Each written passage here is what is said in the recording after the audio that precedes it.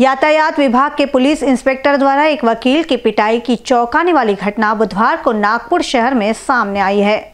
प्रारंभिक जानकारी मिली है कि मारपीट गलत साइड में जाने के आरोप में की गई है। इस घटना से वकील संघ में भारी रोष है। मिली जानकारी के अनुसार जिला अदालत के वकील तहसीन रजाक बुधवार की दोपहर अपने दोपहिया वाहन से जिला अदालत से संभागीय आयुक्त कार्यालय की ओर गलत दिशा में जा रहे थे। पुलिस निरीक्षक एडगेवार ने रजाक को रोका और पूछा की वह गलत दिशा में क्यों जा रहे हैं। इस पर रजाक ने कहा की वे हमेशा ही इसी दिशा ऐसी जाते हैं। ये सुनते ही पुलिस ने कहा, आप जिम्मेदार हो। यह कहकर खाकी का रोग दिखाकर धक्का मार कर थप्पड़ जड़ दिया। इस मामले के बाद वकील संघ की ओर से पुलिस के निलंबन की मांग की जा रही है। फ़िलहाल एडगेवार पर मामला दाखिल किया गया है और पुलिस आयुक्त अमितेश कुमार ने उचित कार्रवाई करने का आश्वासन भी दिया है। पुलिस कमिश्नर से और डीसीपी साहब से बात करने के बाद में हम लोगों ने उनको बताया कि किस तरीके से अन्याय तहसीन, हमारे एक युवा वकील तहसीन मिर्ज़ा के, तहसीन गुलाम मोहम्मद के साथ में हुआ है।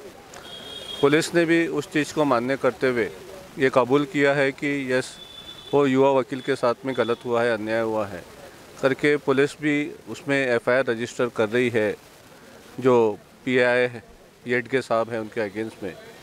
और 294, 506 और अदर कलम भी लगा रहे हैं। साथ में पुलिस कमिश्नर ने हमको ये भी वादा किया है कि आज की आज हम उसके अगेंस्ट में इंक्वायरी भी चालू करेंगे डिपार्टमेंटल इंक्वायरी और आज के आज ही उसको वो पद से वहाँ पे ट्रांसफ़र करके दूसरी जगह पे उसको भेजा जाएगा। तो रॉन्ग साइड पे आना उसके लिए मोटर व्हीकल एक्ट में एक फ़ाइन का प्रावधान है। तो वो फ़ाइन उस समय भी वो वकील हमारा भरने को तैयार था। वो आज भी जो फ़ाइन है, वो फ़ाइन भरने को वो तैयार है। वो ऐसा सीरियस क्राइम नहीं था कि जिसके लिए इतना बड़ा उसको गिराया जाए, वो वकील को इतनी चोट लगी तो उसके साथ में गलत तरीके का व्यवहार किया जाए।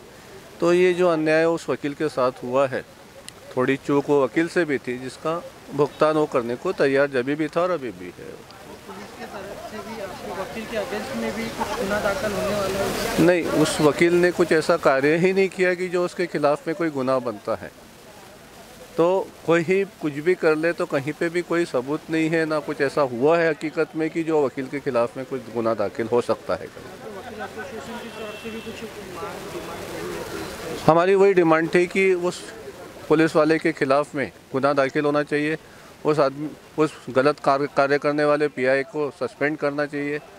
तो सस्पेंड करने के लिए जो प्रक्रिया होती है वो डिपार्टमेंट इंक्वायरी आज उसके अगेंस्ट में कमिश्नर साहब ने बोला है कि चालू हो जाएँगी और फ़िलहाल को ट्रांसफ़र भी किया गया है। तो हम लोग ये पुलिस की कार्रवाई से संतुष्ट है और हम लोगों ने जो निर्णय लिया था कि हमको अगर न्याय नहीं मिलता है तो हम कल कोर्ट बंद करेंगे।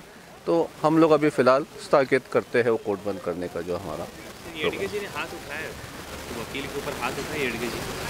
येडगे जी ने कॉलर पकड़ा है। जो कि चलती गाड़ी में कॉलर पकड़ना बोले तो उसकी जान को भी धोखा हो सकता था। और कानूनी तौर पे ये इस तरीके का चलती गाड़ी में गला पकड़ना, कॉलर पकड़ना, ये गैरकानूनी है। और ये पुलिस जो खुद कानून के रखवाले है तो ये गलत कार्य किया है उसने। तो ये जो कार्रवाई हो रही है, वो सही कार्रवाई उसके खिलाफ में हो रही है। देखिए, तकरीबन साढ़े बारह के दरमियान मैं जो है अपने कंज्यूमर फोरम के केस के लिए जा रहा था, जहाँ पे मुझे एक पुलिस वाले ने रुका। जो कि रॉन्ग साइड पार्किंग में अपनी कार लेके खड़ा था, जीप लेके खड़ा था, वहाँ पे उसने रोकने के बाद मुझसे जो है कहा कि आप गलत जगह से जा रहे हो। मैंने कहा, नहीं सर, हम लोग रेगुलर यही रूटीन से जाते हैं। और मैंने कहा, सर, मैं लेट हो रहा हूँ क्योंकि वहाँ पर मेरा एक मैटर है। तो उसके बाद उसने मेरे को ज़बरदस्ती रोका, मेरी गाड़ी को भी रोका और कहा कि, नहीं, आप यहीं पे हो, आप जा नहीं सकते। मतलब सर, आपको कानूनी जो भी कार्रवाई करना है फ़ोटो लेके कर सकते हैं। बट जब मैं गाड़ी ऑन करके शुरू जाने की कोशिश किया तो उसने मेरी गाड़ी रोके और रोकने के बाद मेरी कॉलर पकड़ के मुझे वहाँ पे गिराया उनने। और गिराने के बाद जो है मेरे साथ जो है मिसबिहेव किया। है उसमें गलत अल्फाज का गलत लैंग्वेज का भी इस्तेमाल किया है। उसके बाद हम लोग यहाँ पे काफ़ी एडवोकेट्स लोग जो है जमा हुए हैं। जमा जमा होने के बाद हम लोगों को यहाँ पे बोला गया था कि आप उसके ऊपर कार्रवाई होंगी। एफआईआर दर्ज होगा बट अभी तक ऐसी कोई भी इधर एफआईआर दर्ज नहीं हुई। यहाँ आने के बाद में यहाँ आने के बाद अभी तक ऐसा नहीं उन्होंने ये बताया था वहाँ से कि हम लोग वहाँ पर ये आश्वासन दे के यहाँ पर लाया गया था कि हम काउंट हम जो है उसके ऊपर में एफआईआर करेंगे करके। लेकिन यहाँ आने के बाद में स्थिति विपरीत हो गई। उनका ये बोलना पड़ा था कि अगर हम एफआईआर करेंगे तो आपके ऊपर भी हम तीन दाखिल करेंगे। सभी वकीलों के सभी वकीलों के ऊपर में। हाँ तो हम हमारा वही प्रश्न था उसमें तीन सौ तिरपन जैसा सा क्या कंडक्ट होगा तो कि आप तीन सौ तिरपन फिरियादी के ऊपर में लगाओगे करके। तो इस विषय के ऊपर में इस कंडीशन के ऊपर में उन्होंने लिया था कि एफआईआर कि हम भी तीन सौ तिरपन तीन सौ तिरपन लगाएँगे। हम भी तीन सौ तिरपन लगाएँगे करके। हमने हमने, हमारा सिर्फ़ ये बोलना पड़ा, आखिर हमारे वरिष्ठ लोग यहाँ पर आए, उनका ये आखिरी में बोलना पड़ा कि आपको जो करना है, आपको तीन सौ तिरपन लगाना है, आपको जो भी सेक्शंस लगाना है, आप लगाइए, लेकिन आप हमारी एफआईआर ले लीजिए। उन्होंने अभी एफआईआर लिया कंप्लेंट लिया उस पर रिसीविंग कंप्लेंट लिया है अभी तक का कंप्लेंट लिया है उन्होंने उस पर रिसीविंग दिया है। मेडिकल अभी तक नहीं हुआ है मैं मेडिकल के खुद जा रहा हूँ मैंने मेडिकल के लिए पीआई साहब को बोला है बट अभी तक मेरा चार घंटे हो गए अराउंड अभी तक मेडिकल नहीं हुआ। मुझे खुद बोला है तो मैं अभी आज ये वाला जो हुआ है ये सिर्फ़ इस कंडीशन पे हुआ है कि हम काउंटर तीन का एफआईआर करेंगे। इस ऐसा पीआई साहब का कहना है। ऐसा वहाँ पर डीसीपी साहब को रिपोर्ट आई है डीसीपी साहब को कहाँ से रिपोर्ट आई है मुझे नहीं पता पर डीसीपी साहब ने कहा है कि अगर आप कंप्लेंट देते हैं तो आपके ऊपर भी जो है तीन सौ तिरपन आई लग सकती है। आप पे नहीं और बाकी लोग जहाँ पे जो मौजूद थे पचास एडवोकेट थे उन पे भी हम लोग एक्शन लेंगे। ऐसा मुझे वहाँ से इन्फॉर्मेशन मिली है। सर्विस रिवॉल्वर जी हाँ सर्विस रिवॉल्वर उनके पास था। उन्होंने उसको लेकर के कुछ निकाला नहीं उन्हें थ्रेट दिया था। थ्रेट दिया था उन्हें धमकी दी थी। और मुझे नहीं सभी जितने एडवोकेट्स थे सबको दिया था। विटनेस अवेलेबल रेट में क्या बोला उन्हें गाली का प्रयोग किया था। साथ ही साथ उन्हें कहा था कि मैं कोर्ट को भी देख लूँगा और वकीलों को भी देख लूँगा।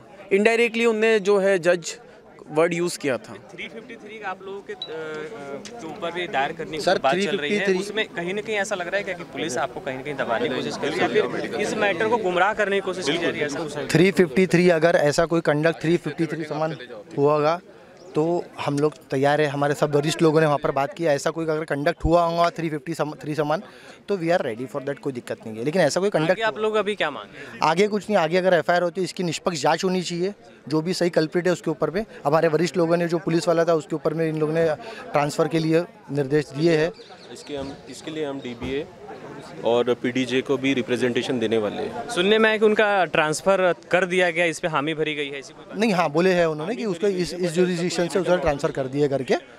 इसके लिए बस निष्पक्ष जाँच लोग कितने दिन का भी इंतज़ार करेंगे इस मैटर में कितने दिन का भी इंतज़ार करेंगे नहीं ये मैटर तो अभी चालू हो गया है मतलब एफ़ होगी उसके बाद में अभी अभी चालू हो गया अब देखेंगे हम स्टेप स्टेप पे कैसा क्या इसका इन्वेस्टिगेशन होता है क्या होता है उसके हिसाब से हम लोग आगे का हंसने वाली बात ये है कि जो एक्यूज़ है जो पुलिस वाले एक्यूज़ है जो चालन बनाते समय जिन्होंने गिराया घटना के समय उनकी खुद की गाड़ी रॉन्ग साइड में डबल लेन में खड़ी हुई थी। जीप तो अगर उनकी नज़र में वो रॉन्ग साइड है और वो कानून का उल्लंघन है तो ये बात उनके ऊपर भी लागू होती है। और ये बात के लिए क्या उनकी वरिष्ठ ने उनके ऊपर कोई कार्रवाई की क्या? अब आगे चल के ये सब चीज़ें रिपोर्ट में पता चलेगी। मगर सिंपल अपने फ़ील्ड के लोगों को बचाने के लिए 353 की एफआईआर की एक धमकी दी गई है। दी गई है। इसका अगर, इसकी निष्पक्ष जाँच होनी चाहिए। अगर तीन सौ तिरपन जैसा कोई कंडक्ट अगर हुआ है तो we are ready for that कोई दिक्कत नहीं अगर तीन जैसा कोई कंडक्ट हुआ आपके बोलने से कि वहाँ पर तीन हुआ ऐसा नहीं चलेगा। अगर ऐसा कोई कंडक्ट हो तो वी रेडी फॉर दैट कोई दिक्कत थैंक सर इसमें मेरा एक कहना है आज आप देखिए कानून के रखवाले जो पुलिस वालों को कहा जाता है और कानून के साथ में चलने वाले जैसे वकीलों को कहा जाता है। ऐसा बोला जाता है पुलिस और वकील का तालमेल बना जी, जी तालमेल तालमेल बना रहना चाहिए। पर आप ये देखिए कि इस पे से जब हम वकील रह के, जब गलत हुआ है, हम लोग हम लोग सब प्रोटेस्ट कर रहे हैं। एक जब सादा इंसान जब पुलिस स्टेशन में जाता हुआ तो उसके साथ में कितने हाल होते होंगे? आज हम इनको कहे कहे के थक गए हैं कि, सर, गलत है एफआईआर लीजिए, आप कीजिए। आप अभी देख रहे होंगे आपकी कितना डिले कर रहे हैं। फिर delay in reason recording of FIR delay in reason उन्होंने लिखना चाहिए। अभी जब वो गए तो उन्होंने स्टेशन डायरी एंट्री की। क्या ये सब बातें एक एक रहेगी? पर देखिए कि हम वकील रह के इतना सफ़र कर रहे हैं। पर जब कोई सीधा जो इंसान है एक साधा नागरिक है जिसे हम कहते हैं तो जब वो पुलिस स्टेशन जाता है जब उनको प्रताड़ना होती है तो आज सही मायने में हमारे द्वारा आज पुलिस स्टेशन में आके कहीं ना कहीं ये पूरी जनता को दिखाया जा रहा है एक जनता का दुख दर्द दिखाया जा रहा है हमारे द्वारा कि उनको क्या तकलीफें होती है। तो कृपा करके जी, हम सभी सेशन कोर्ट से ही है और हमारा पूरा वकील वर्ग जो है, ये मित्र परिवार है और हम सब लोग जो लोग होते हैं, उनकी साथ देने के लिए आए हैं। पर आज जो सब अत्याचार हो रहा है, ये आपको दखल लेनी पड़ेगी इस न्यूज़ के माध्यम से। तो जैसा कि आप देख रहे हैं कि हमारे पीछे समस्त यहाँ पे सेशन कोर्ट, नागपुर के वकील यहाँ पे आए हुए हैं, क्योंकि अभी जो हादसे हुए हैं, उस हादसे को लेकर के यहाँ पे एफआईआर दर्ज करने आए हुए हैं। लेकिन इन्हें एक तरीके का इनका ऐसा कहना आरोप है कि एक ब्लैकमेल किया जा रहा है कि अगर पुलिस के ऊपर में अगर गुनाह दाखिल होता है तो इनके ऊपर भी 353 की धारा दर्ज होंगी। और जिस तरीके से जो कार्य किया जा रहा है, इसमें सही सही में कहीं ना कहीं एक आम व्यक्ति को शायद पुलिस स्टेशन में ज़्यादा सफ़र करना पड़ता होगा, इससे एक अंदाज ये लगाया जा सकता है। इससे अधिक जानकारी हम इस मामले में हमेशा अब तक आप लेकर आते रहेंगे। आप देखते रहे इन news video journalist Akhilesh Bhardwaj के साथ मैं वीर सिंह। कैमरा पर्सन अखिलेश भारद्वाज के साथ अभिषेक पानसी बीसीएन न्यूज़ नागपुर।